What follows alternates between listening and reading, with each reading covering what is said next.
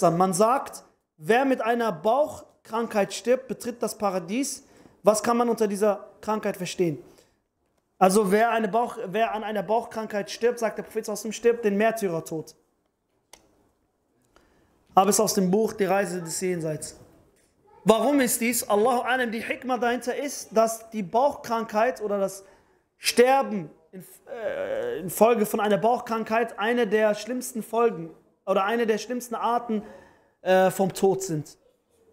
Genauso wie man, man verbrennt, auch eine sehr schlimme Art von Tod. Wenn man ertrinkt, eine schlimme Art von Tod. Wenn äh, das Haus einbricht und man durch äh, äh, die Steine und Bröcke stirbt, auch eine schlimme Art von Tod. Das sind, das sind Todesarten, die mit Qualen verbunden sind. Und deswegen, Allahu Alam, dann auch äh, der Märtyrertod dafür. ذكر الأصحاب كن متأدبا.